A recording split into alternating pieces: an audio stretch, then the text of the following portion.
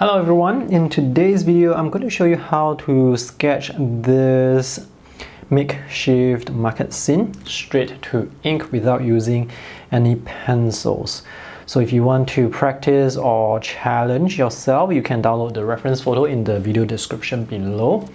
Let me show you the completed sketch that I drew the other day while I was on location. So I drew the pen and ink sketch on location, but the colors were added on at home because after I finished drawing the lines it was almost going to rain so I had to rush back home. So this is the completed sketch. Let's analyze this scene first. So this photo was taken with a wide angle lens, so the diagonal lines, they are quite dramatic. The first thing I would do when I see a scene like this is to find the vanishing point, so I will look at where the diagonal lines are leading to. So in this case, the diagonal lines are leading to um, this area here. So when I draw later on, I will keep in my mind the location of the vanishing point. That's very important. And the focus of this sketch is on this makeshift market. So it's a wide scene.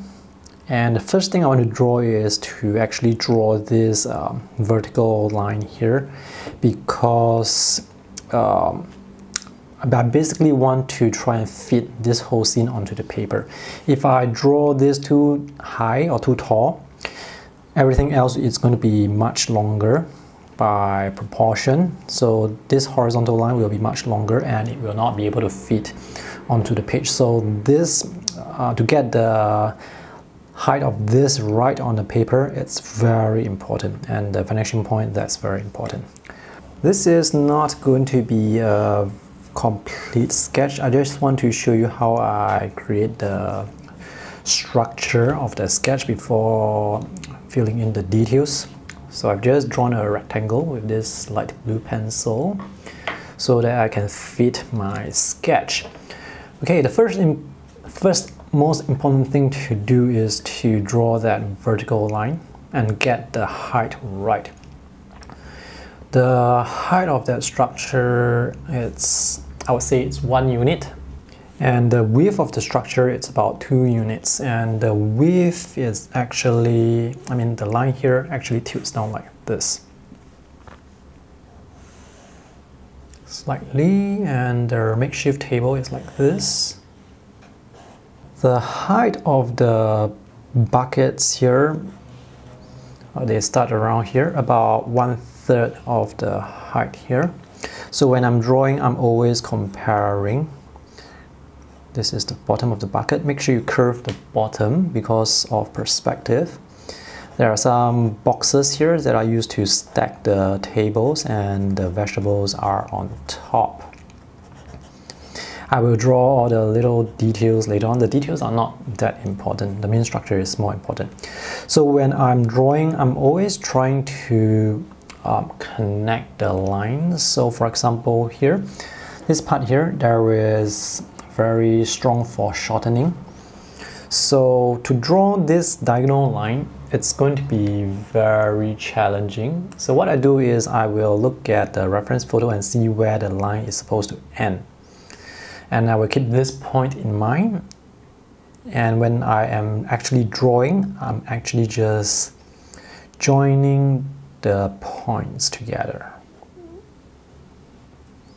So I find it easier to draw, um, as in to join the lines, know where the lines are going to start and where it's going to end, and then when you, it's so much easier to just join the lines. So this is the structure.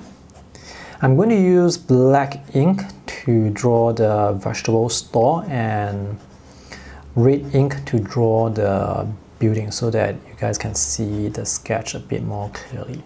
And all these boxes that you that I am drawing right now, I'm actually just scribbling, just drawing rectangles. They don't have any shapes or perspective, just to create some fake details. Okay, um, let's draw the building that this vegetable store is in. there is a rectangle here. So this is the background.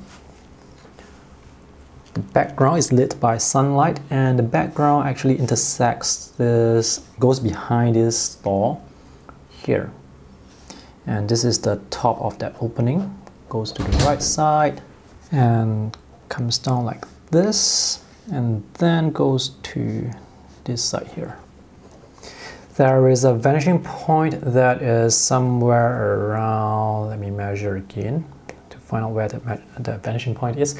The vanishing point is actually somewhere here to the left side of the buckets. So now with the vanishing point, I can draw the diagonal lines of the building. So I can draw this diagonal line that points to the vanishing point like this there's this diagonal line that points here and one uh, all right. This vanishing point is actually not on the on this horizontal line. It's actually slightly higher.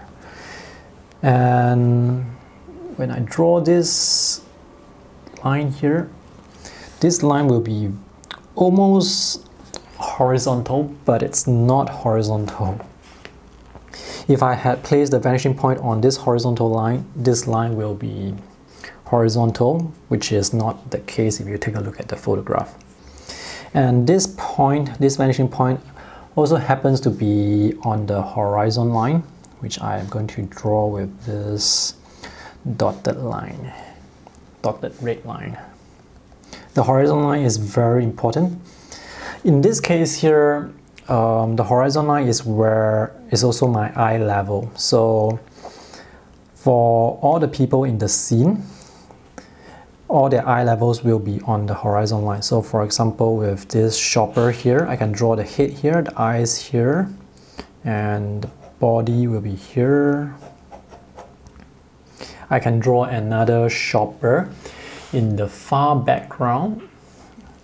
I may not know where that customer is in the background but as long as the head is overlapping the horizon line I can draw a body for that and once I know the size of the body I will be able to know the length of the legs. Okay let's continue with the structure of the building. There are some pillars like huge pillars. Uh, one it's one is right here. Um, when I there are actually several pillars, so when drawing, it may be good to draw pillars that are in the center. Try to get the placement right, and then again draw the pillar between these two pillars. So it may be tempting to draw from left to right or from right to left, but I find that sometimes uh, if you don't get your measurement right, then um, everything that you draw is going to, the mistakes will compound later on. So I find it easier to divide it, draw the center, and then draw another pillar here, and then draw the center here again, and then here, just keep dividing it if you want it to be accurate. There are some, um, I'm not sure what these are called, blind, not blinds, uh, something to shield from the rain. And this will follow the, will go to the vanishing point as well. Okay, so this is the pillar. And the top of the pillar, this line here, it's not horizontal, it's tilted slightly down like this because there is a vanishing point at the far right outside of the photo. So if you want to draw um, this line, make sure it's not horizontal. It may be horizontal if you are drawing on location, um, but based on this photo, it's not horizontal. And once again, um, there are several um, of this horizontal section beams on the ceiling. So once again, I can draw the center beam here and then divide, draw the beams within. I find it easier that way.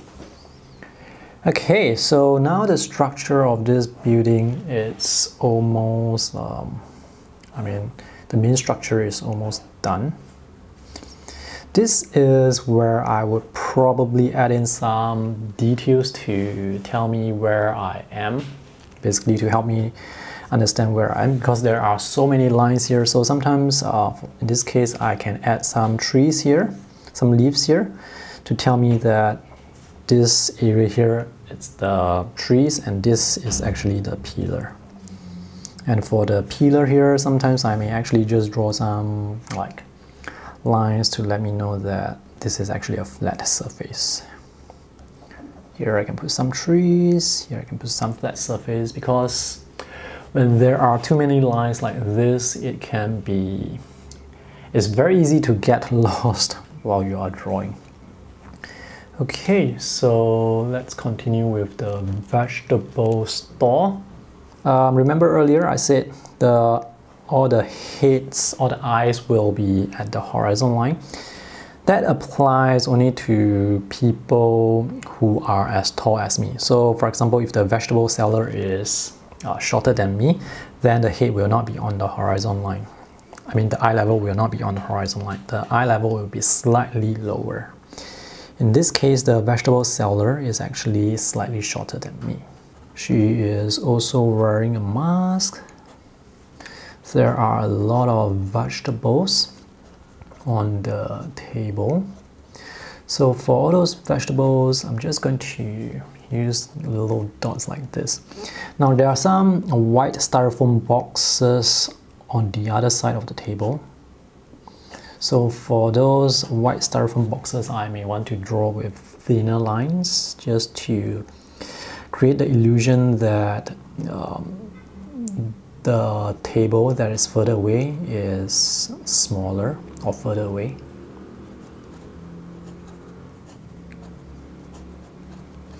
So now I can just uh, keep adding the details. And if there are any customers in the background, remember to draw them with their eye levels intersecting the horizon line. So you can draw as many uh, people as you want. Just make sure that the eye levels coincide with the horizon line. For this particular sketch, I will try to draw from the left side to the right side because the focal point is right here. And if I actually do run out of space on the right side, then uh, it's okay to leave the sketch, I mean leave that place uh, white or leave that place, leave that area empty because that's not the main area that I want to draw. The main area is this, so draw the main area uh, first.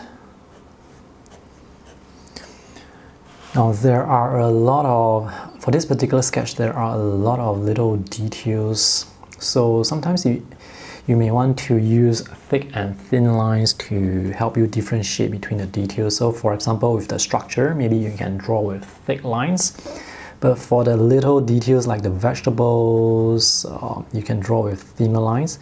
But for the trays, for the boxes that are used to put the vegetables, you can draw them with thicker lines. Small details you can draw with thin lines. Bigger details you can draw with thicker lines.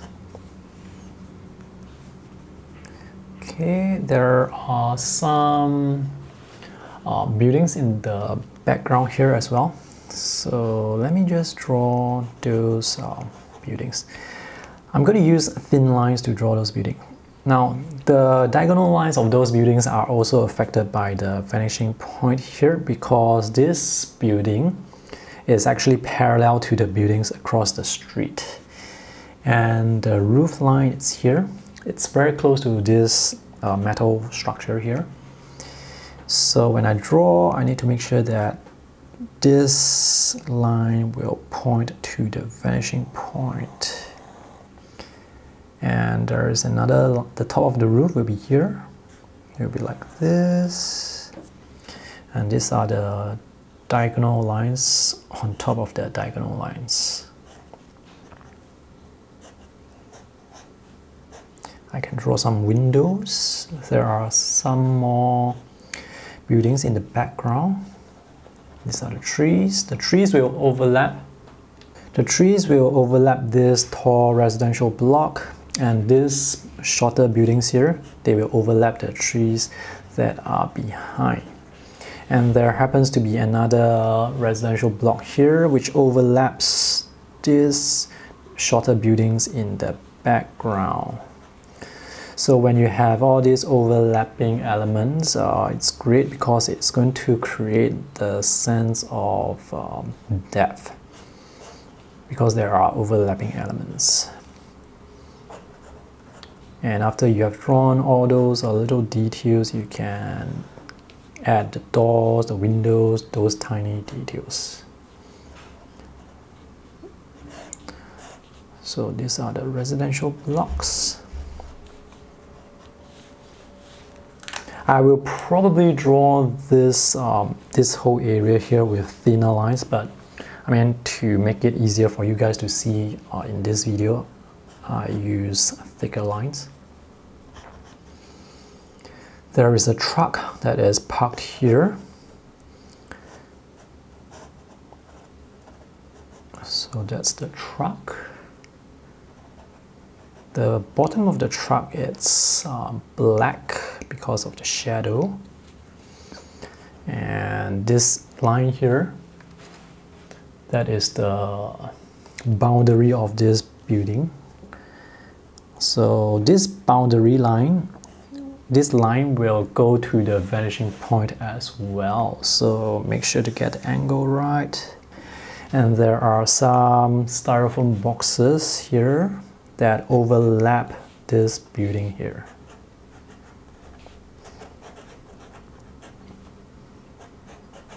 So it's good to have overlapping elements. And yeah, I think this is pretty much the sketch. Oh, I forgot about the vegetable stores in the far background. Right.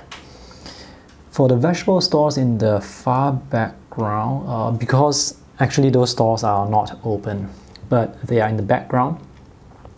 So I'm going to draw those stores with very thin lines like this. These are the vertical, sorry, horizontal lines that represent the tables.